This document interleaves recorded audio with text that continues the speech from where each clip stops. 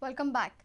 Congress has hit back at Mickey. Goa desk in charge of Congress Hari Prasad has said that Mickey should have not gone public as he is a part of the government. CM too has replied. CM has advised such ministers to exercise restraint while making any comments.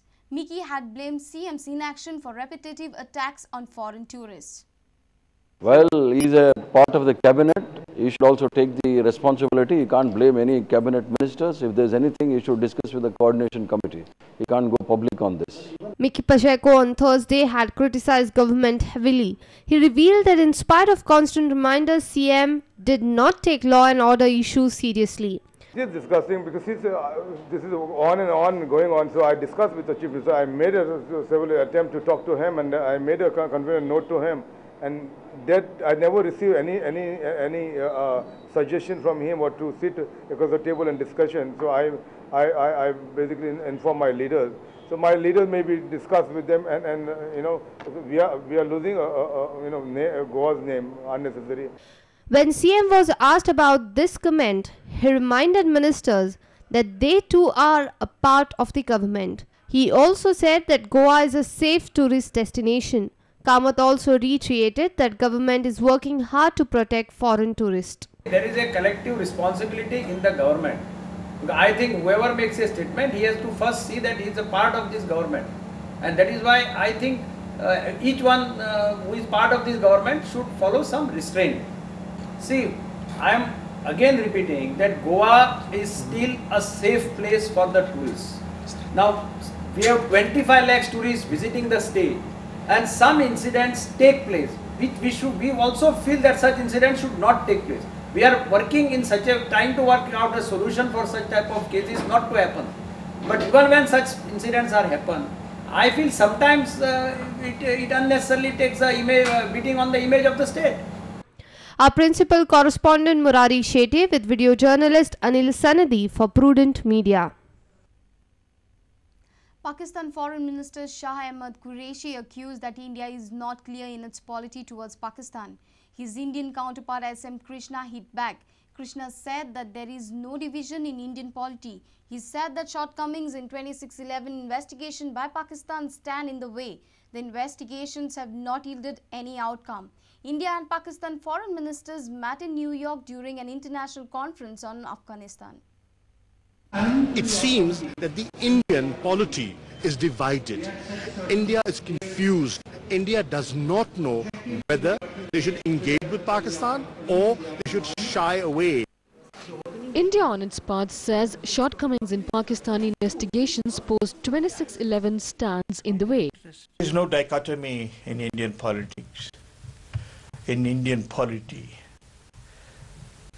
We met in New York and then we had uh, hoped uh, that the investigations in Pakistan about the perpetrators of uh, uh the Mumbai attack would continue based on the dossiers that we have provided to Pakistan. Well, we haven't heard about the outcome of those investigations if they have taken place.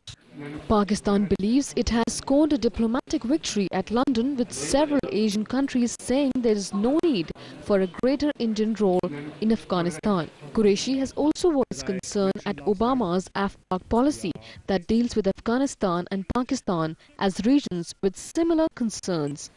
And the tensions only grow.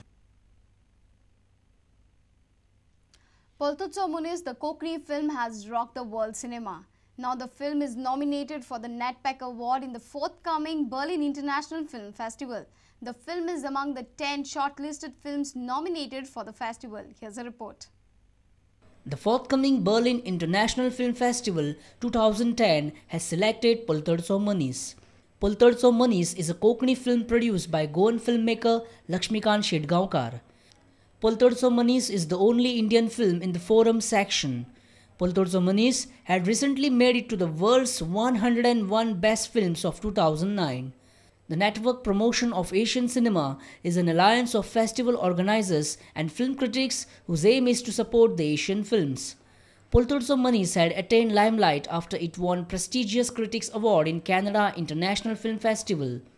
The movie was inaugural film of the Indian Panorama section in the IFFI. The Man Beyond the Bridge is entirely shot in Goa and will be released shortly.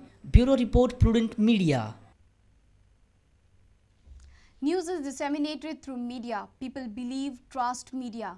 Everything starts with credibility and ends with truth. But does it always happen?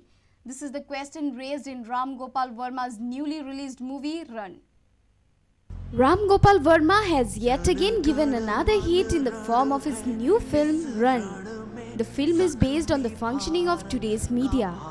The movie travels into the dark alley of the business of media. Amitabh Bachchan, Paresh Rawal and Ritesh Deshmukh have played the main characters. We caught up some movie buffs for their comments on this movie. Uh, Amitabh Bachchan is captivating. Uh, all the characters are being put in place. Uh, really captivating movie, and I guess everybody should watch it. And uh, I guess Ram Gopal Verma has done a decent job with this movie. And uh, yes, another hit of 2010. The movie is good.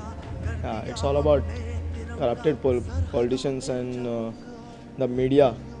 Actually, the media is playing a main role out there, and like uh, it's shown like the true fact behind media, like how media people are getting corrupted due to politicians. Who's going to believe the news after watching this?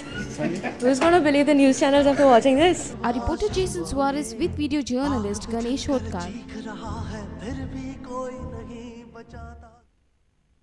Let's take a short break. Stay tuned.